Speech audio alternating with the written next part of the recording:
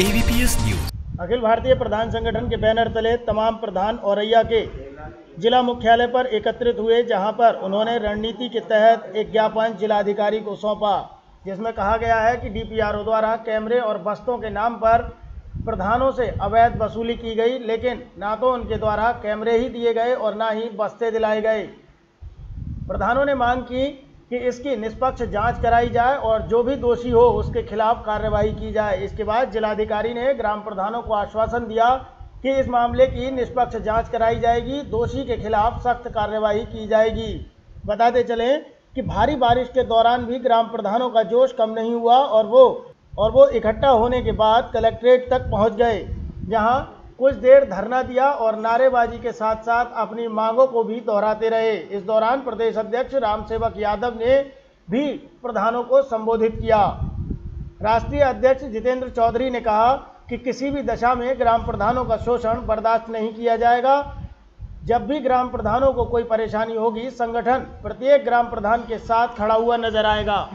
सबसे पहले तो धन्यवाद देना चाहेंगे औराई औरैया जनपद के सभी क्रांतिकारी प्रधान साथियों को कि भारी बारिश के बावजूद अपने उत्पीड़न के खिलाफ वो सब यहाँ इकट्ठा हुए। और मैं आश्वस्त करना चाहता हूँ औरैया जनपद के प्रधान साथियों को कि वो अकेले नहीं हैं। समस्त उत्तर प्रदेश के प्रधान साथी और देश के पंचायत प्रतिनिधि, उनकी समस्याओं में, उनके साथ में खड़े हैं। और जब मौका मिलेगा जब समय आएगा तो जनपद के साथ साथ पूरे प्रदेश में उनके उत्पीड़न की खिला की आवाज़ को उठाने का काम अखिल भारतीय प्रधान संगठन करेगा। फ़िलहाल आज जो आए हैं आज आप मुख्यालय में किस लिए आए क्या मांगे हैं आप लोगों की? नहीं और भी भारत गाँव का देश है। प्रधान गाँव का मुखिया है।